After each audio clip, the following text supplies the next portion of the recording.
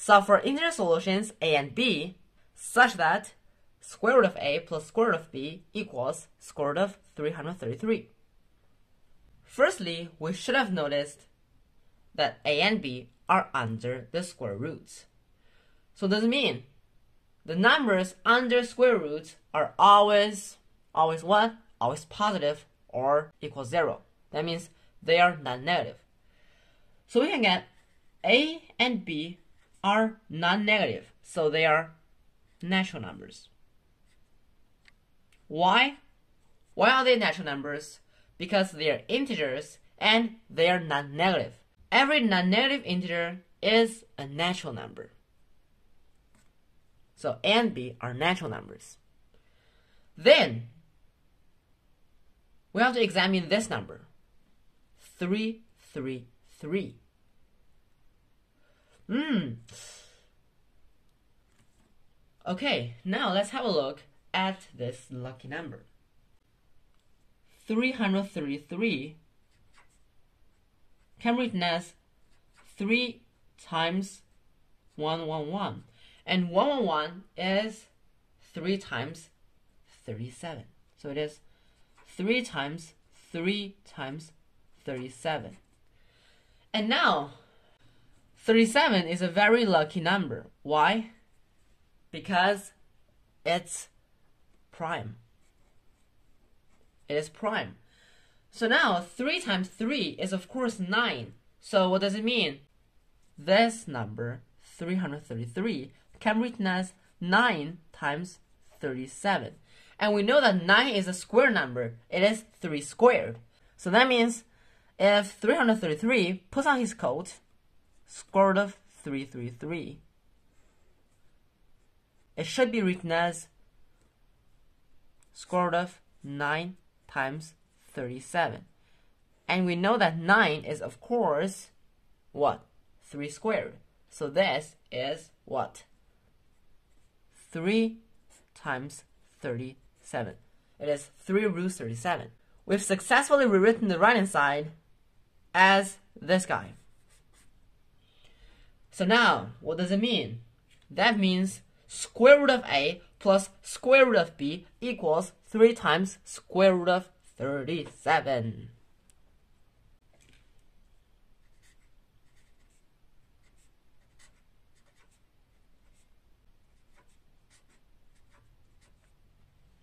Now we know that 37 is prime.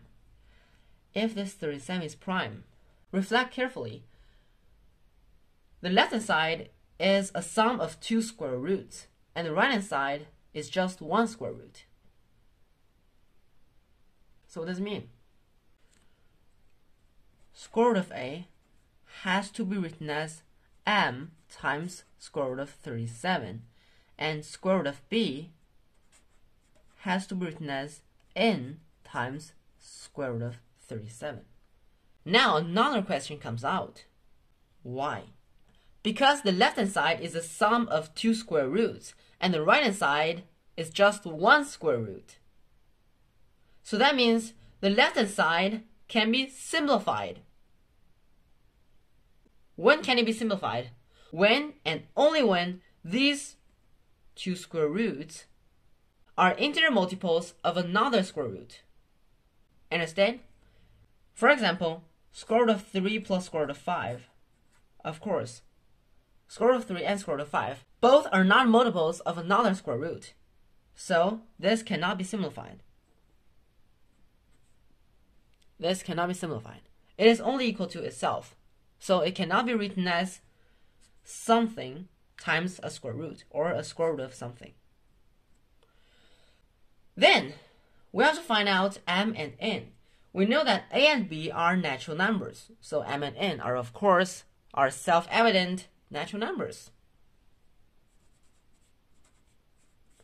That means they can be equal to 0.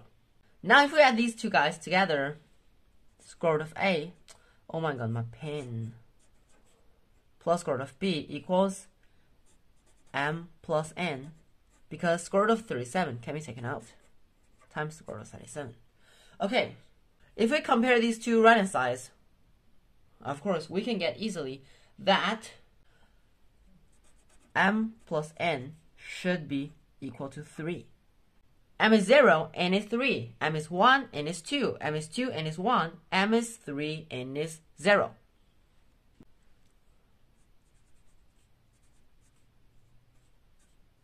Zero, three,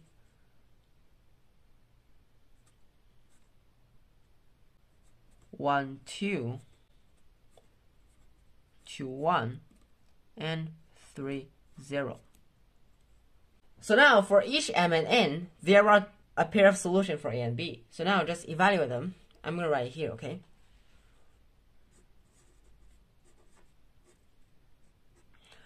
m is 0, n is 0. In this case, n is 3, so square root of b is just 3 times square root of 37. So that means square root of b is square root of 9 times 37. And in this case, b is 333.